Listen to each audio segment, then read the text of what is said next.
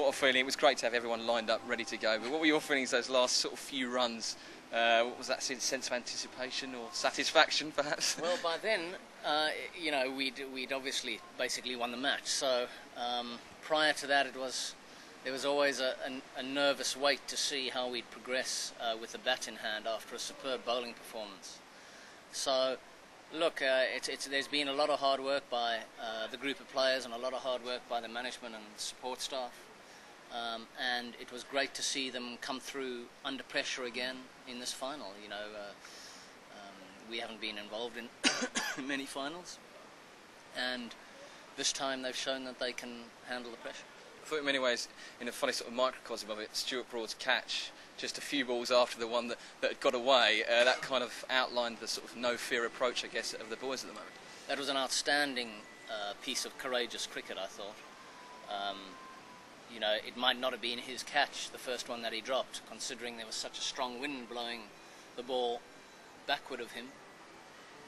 Uh, and after fluffing that, um, to then take responsibility for the one going over his right shoulder, uh, and the way that spooned off Cameron White's bat, was always going to be spinning away from him.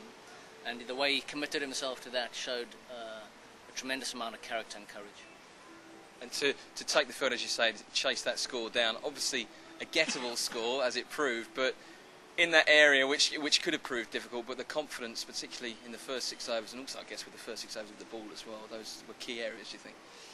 Well, we we started uh, a number of the 2020 games in a very confident and attacking manner, both with the ball and the bat. So uh, to get those three early wickets really um, knocked a big chunk of their batting power out they recovered quite well from the 10th to the 20th over. Uh, so we had a, a, bit of a tricky chase on. And again, our top three provided the impetus uh, and the partnerships that basically secured the game for us. Um, Kieswetter has produced some exciting cameos through the tournament, so it was great for him to go in and make the match-winning contribution.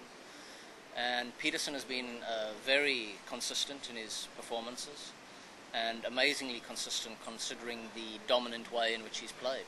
Um, and and really, in the face of those onslaughts, um, you know, some of the totals we've chased have, have seemed a little smaller than they probably looked. And the support today, uh, the, the George's flags, the England fans, and locals supporting the West Indies, uh, West Indies fans supporting England as well how did that feel to have that kind of backing in the stadium, on the world stage as well, to have those kind of people behind you must have been fantastic. Well, it was nice to hear our team um, singing loudly um, at, uh, bef- uh, during the anthems, and then it was great to hear and watch the support in the in, in the crowd. Uh, we've got great supporters; they follow us anywhere. They were even with us in Bangladesh um, on our previous tour, and uh, we're very proud and and uh, and appreciative of the support that we get from the English public. And just finally, I'll let you go after the celebrations, Andy, richly deserved. But are you starting to feel uh, a sense of satisfaction now? You, you, you're world champions, uh, and you've done it the hard way, played against the best teams in the competition, and come out on top. And, and what are your immediate emotions, I guess? Well, I, have got a, a, tremendous sense of satisfaction from uh, the job that the guys have done, and I mean the whole group, uh, all the support staff, and the players have put a lot of sweat and, and heartache um, into being the best they can be, and uh, and we've we've we've proved that we were the best in this tournament, which is outstanding. In saying that, I can't help thoughts moving to the future, and um, in all three forms of the game, we've got a lot of hard work and improvement to do if we want to be consistently successful.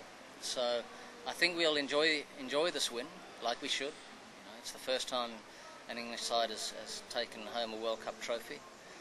Um, so we'll enjoy that, but uh, we'll move on fairly quickly um, back into hard work and uh, and looking for constant improvement. So it's not been a bad year, has it? it's been a great year. We've we've loved it. It's it's, it's a really privileged uh, position that we have here representing um, England and uh, and you know if we can do anything close to this in the next 12 months, we'll be very proud again.